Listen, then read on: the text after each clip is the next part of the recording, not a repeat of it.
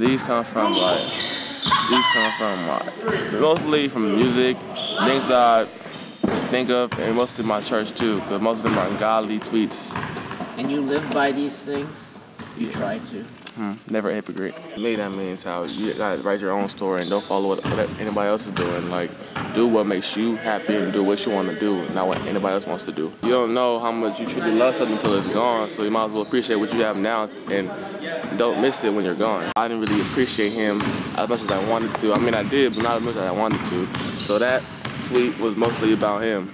You want to leave a legacy here on earth before you pass away, so you might as well just do something spectacular here on earth, and it will just leave people shell shocked. People just they have ears, but they don't want to listen to me. Like they, the stuff goes through one ear out the other. Like no one wants to listen to things people want to say, but they can hear it, but just don't want to listen to. it. People just know me for my uh, skills in the court, but I'm much more of a person than that. Um, I love everyone.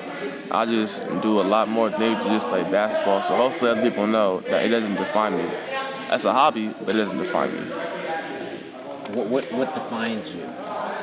Hopefully just being a good person. People just know me as that good kid around the block, just being a nice individual.